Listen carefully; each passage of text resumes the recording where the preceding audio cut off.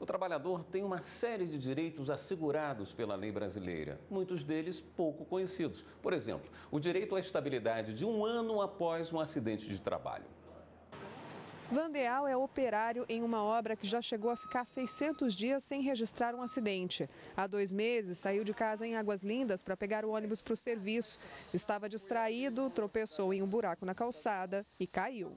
Vinha de casa para o serviço, né? Eu caí no acidente, cheguei aqui lá no serviço. Fui, falei para Fernanda, eu fui fui encaminhado para o hospital. Deu só uma faturinha exposta e pronto.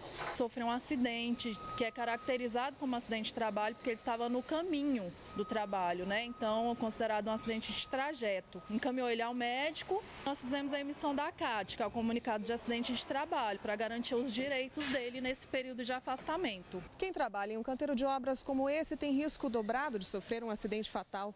É o segundo setor que mais mata trabalhadores no Brasil. Também pudera aqui todos os dias o ambiente muda e os riscos também. Quem está lá em cima precisa usar o cinto de segurança e receber treinamento, porque a principal causa de morte em uma obra é a queda. A partir de dois metros de altura, já é exigido que eles trabalhem com cinto de segurança.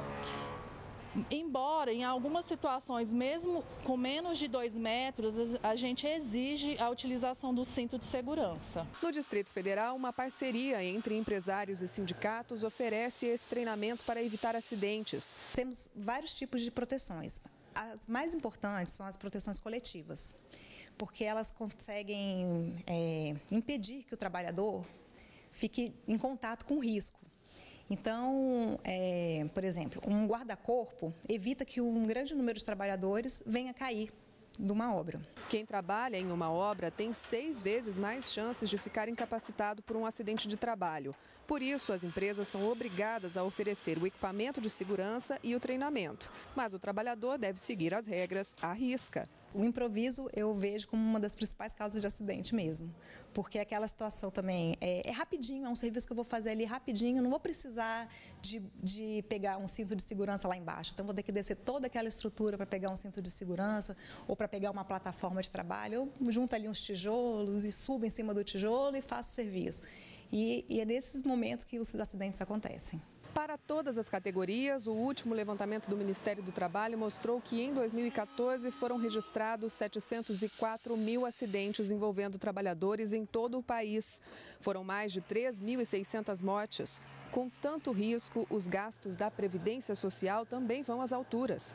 Foram calculados em 70 bilhões de reais por ano. Quando um acidente acontece e o trabalhador precisa se recuperar por mais de 15 dias, tem direito ao auxílio-doença.